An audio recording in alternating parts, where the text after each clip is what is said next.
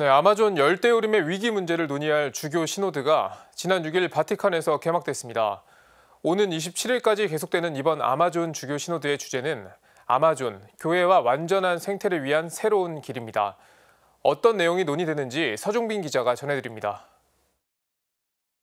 남미에 있는 아마존은 세계에서 가장 넓고 가장 다양한 생물이 사는 열대 우림으로 지구의 허파입니다.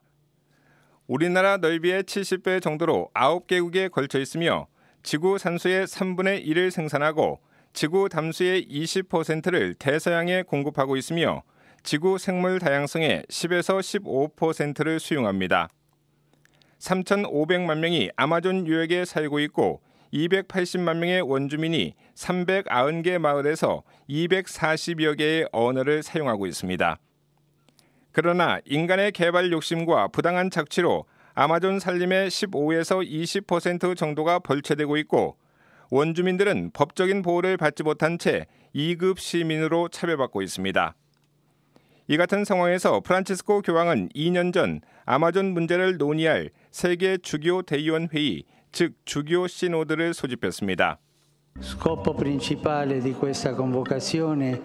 Scopo principale di questa convocazione e individuare nuove strade per l'evangelizzazione di quella porzione del popolo di Dio, specialmente degli indigeni, spesso dimenticati e senza la prospettiva di un avvenire sereno anche a causa della crisi della foresta amazzonica, pulmone di capitale importanza per il nostro pianeta.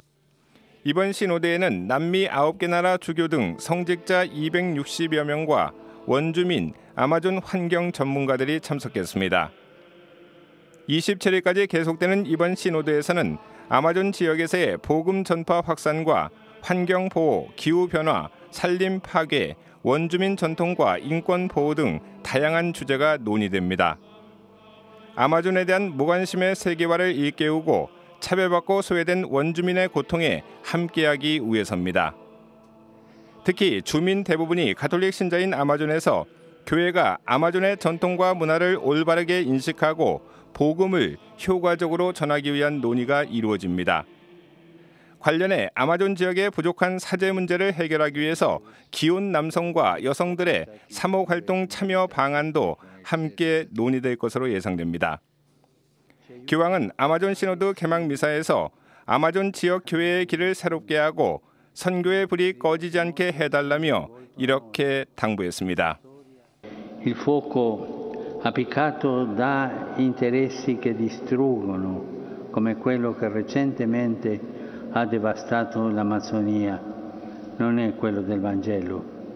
Il fuoco di Dio è calore che attira e raccoglie l'unità. Si alimenta con la condivisione, non con i guadagni.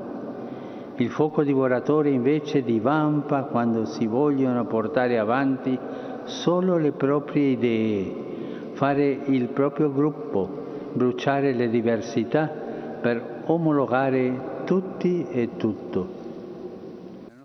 교황은 하나님의 불은 타서 없어지는 세상의 불이 아니라 생명을 주는 사랑의 불이라며 하느님은 아마존에 대한 새로운 신민주의의 탐욕으로부터 우리를 보호해 주신다고 강조했습니다. 그러면서 아마존을 지키며 평생을 살고 있는 원주민에 대한 교회의 따뜻한 위로와 관심을 거듭 호소했습니다. Tanti fratelli e sorelle in Amazzonia portano croci pesanti e attendono la consolazione liberante del Vangelo, la carezza d'amore della Chiesa.